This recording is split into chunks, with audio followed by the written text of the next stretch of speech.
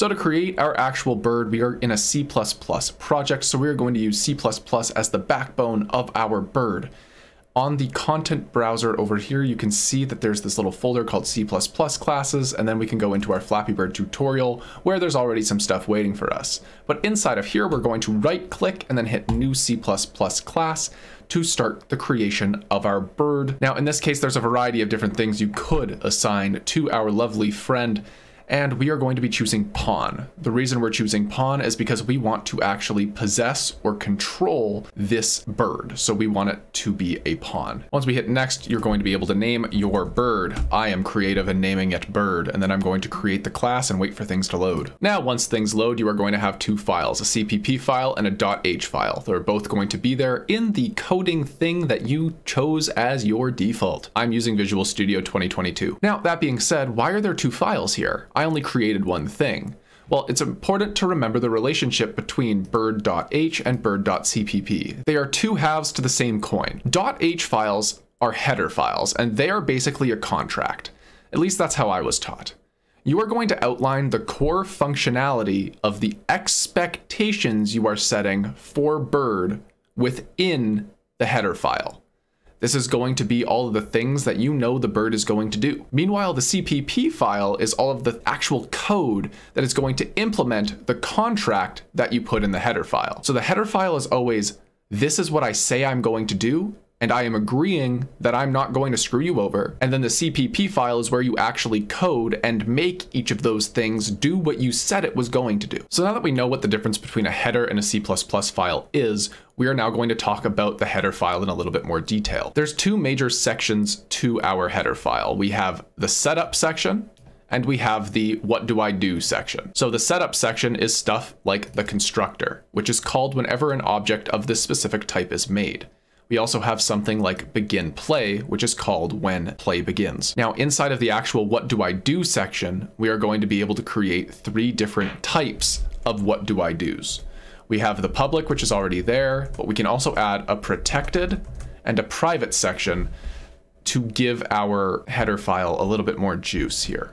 So what's the difference between public, protected, and private? Public can be called by anything anywhere at any time. It is basically open access. Protected are variables or methods that can be called by anything of this class or of any child of this class. So if we created a yellow bird and a red bird, and both of those new birds were children of our A bird class that we are working on right now, anything that we put in protected would be okay for both our current bird and all children of our bird. And then finally we have private, which is for my eyes only. This is where we're going to put things that we do not want other people to touch. Now, it's also considered good coding practice to you put all of your variables inside of private. If you want someone else to have access to those variables, you can set up getter and setter methods depending on the level of access you want people to have. So now with all that explanation out of the way, we are going to start building out our bird. And we're going to first give our bird some components that make the bird who it is. So to do this, we are going to basically set things up so that we can use our blueprint to tell us what they should be. So we're going to set up the basic skeleton in code and then we're going to get the rest of the information filled in when we create a blueprint based off of this in a little bit. So bearing with me for a moment, we're going to create three different U properties to dictate what different components are going to belong to our little bird here. We're going to make these private because we don't want anyone else to be able to touch our business. So to do this, we're going to create something called a U property. And the next thing we're going to do is we're going to set our visibility. Now there is a variety of different things that we can put here, but I want to draw your attention to something called edit defaults only. This is going to say that I'm going to let you see this in Blueprint, but I don't want you to be able to do anything besides set up my default value. This is very powerful when we want to set up what objects are being used, but we don't necessarily want to do anything else. The next thing I'm going to do is I'm going to create a category within the blueprint that I want to store all of this stuff in, and I'm going to just call it components. Now, next I'm going to write the word class. We use the word class to forward declare what we're about to call so that we don't have to add the header file redundantly to both my header file and the C++ file. So this is basically just a promise that we will add the header file for whatever we're calling properly within our C++ file. Now in this case, I want to set up a capsule to dictate what hits my bird. And to do that, I'm going to call a uCapsule component. And I'm going to call it capsule comp. Now what makes this different than any other variable that you will see called in normal coding is that we are creating what's called a pointer here. I don't want to bog down this video's time too much by explaining what exactly a pointer is, but I will create a standalone video that explains pointers in a little bit more detail. Now that being said, the only other thing that we need to create before we can go and actually see our bird in action would be the skin or the mesh that we want to have for our bird. So in order to make things a little bit easier on myself, I'm going to reuse a lot of what I just typed. So I'm going to copy it and then paste it onto a new line. And this time, instead of a U capsule component, I want this to be a base mesh. So I'm going to call a U static mesh component.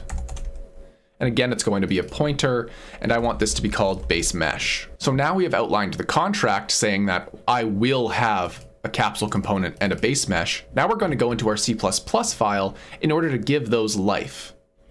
Now we're going to give those life inside the constructor because as I've mentioned earlier, this is called whenever an object is created and it's very important during creation to give all of the components life. Now in order to give our component life, we are going to have to assign it something. So we're going to call for our capsule comp and we're going to make it equal to something called create default sub object. Now all create default sub objects are going to have something in triangles and something in circle. So what goes in the triangle? Inside the triangle, we are going to put what we're creating. In this case, we already know that it's the U capsule component. And inside of our circle here, we are going to be putting what we want to call it. So I want to call this just, I don't know, capsule collider, let's say. Perfect. The next thing we want to do is we want to give this basically order inside of a hierarchy. And this will make more sense once I show you the blueprint in a couple of minutes. But for now, I'm going to take something called the root component or the big boss, and I'm going to make it equal to our capsule component here. Now what's interesting is you'll notice that we're getting this red squiggly underneath of this equal sign, and we're not really sure why. Of course, that's me being a little dramatic. I'm going to show you now the official documentation for U capsule component. Like I had mentioned earlier, we needed to forward declare inside of our header file to promise that we would properly set up the uCapsule component within this CPP file. How do we properly set it up? Well, inside of uCapsule component, it luckily tells us exactly what we need to include. We're going to need to take this line right here, and we're going to need to drop that into our C++ file to basically say, I want to be able to use this file so I can use capsule component inside of my code. So I'm just going to take that, I'm going to drop it right at the top here. And then just like that, you'll notice the red squigglies go away and there will be no error. Remember, it's very important to fulfill your promises. Now next, we're going to do the same thing for our base mesh. We're going to set our base mesh equal to the creating the default sub object again. So I'll set it up the same way. We've got our triangles and we've got our circle. What goes in the triangle? Well, that's going to be our U static mesh component. And what goes inside of our circle, well, that's going to be what we're going to call it. And let's call this just base mesh because I am not creative with variable names. And now we're going to give this some order in our hierarchy, and we want to basically have an attachment to our capsule component, which says wherever the capsule component goes, I want to go. In order to do that, we are going to do base mesh and we're going to call the function of base mesh called setup attachment. Now inside here, we're going to be able to see what we need to give it. And in this case, we're going to set up attachment to our capsule component so that it is going to be the child of our capsule component. Now that is about all that we need to do to set up our bird. So I'm going to save all of my C++ here, and then I'm going to go and I'm going to return back to live code and build what we just built. Or I guess I should say compile what we just built. Now we can see that went through successfully, which means we did not experience any errors, which is great. Now, remember, this is the code representation of our bird. We are now going to create a visual representation of our bird. So in order to do that, I'm first going to be organized preemptively and create a new folder called blueprints. Then I'm going to go back into our C++ stuff here and I'm going to right click on our bird and I'm going to create a blueprint class based on bird. When I do that, I'm going to call it bp underscore bird because that's what I was taught in courses. Then I'm going to save this to my blueprints folder. Once this loads, you're going to notice that we have the capsule component that we named capsule collider and the base mesh that we called base mesh already here because that is what we set up inside of code. And exciting enough, we also have access to set up the capsule component and set up the static mesh. This is why we stated in code that we wanted to be able to edit the default values for our birdie. So what do we want our static mesh to be? Well, I want it to be my bird, but you can make it whatever you want. And since my bird would be absolutely massive, I'm just going to cut that in a quarter. But you'll notice when I click in quarter, it now looks even worse than it did previously. If I undo that, and make it a normal proportional bird, I can now hit this little lock here, which says whenever I change one bound of scale, it will automatically adjust all the other bounds of scale and not create a monster. Now, next we're going to encompass this inside of our capsule component. And we can do that by adjusting the half height and radius here. So the height dictates how tall it is, and the radius dictates how fat it is. And what we're going to do here is we're going to adjust all of these values so that everything works. Now you'll notice here that as I adjust the scale for my capsule component, it's also adjusting the scale for my bird. This is because that mesh that we set up is attached or a child to my capsule component and they are connected in that way. Now I'm not too fussy about what this is. I'm usually more player centric, so I'm going to set up this capsule component to be a little bit easier for everyone involved. So I'm going to basically make it inside, like notably inside of our bird so that if there happens to be like, you know, the beak clipping through one of the pipes later, it's not going to spell the end of the world to our player. So I'm going to compile save, and then I can close that for now. And then what's interesting here is I can now drag this into the world and we can see our beautiful creation right there looking fabulous. Now, what we need to do next is set it up so that the bird actually is going to appear when we hit play. Because what happens now when I hit play is we become a human and we fall to our deaths. This is going to happen in two parts. The first thing we're going to do is we're going to set up our camera to be the boss. And we can do that by clicking on our camera, going into the variables here, and then we are going to scroll into the auto player activation here. I want to automatically activate this for player zero so that when I start the game, I'm at least going to use this camera. You'll see this change right away because when I hit play, now I am watching out of my camera as the human being that I created plummets to their death. The next thing we're going to do is we need to change the default pawn that spawns when we hit play. The way that we can do that is we're going to hit edit, then we're going to go into project settings. Once this loads, we are going to go into maps and modes.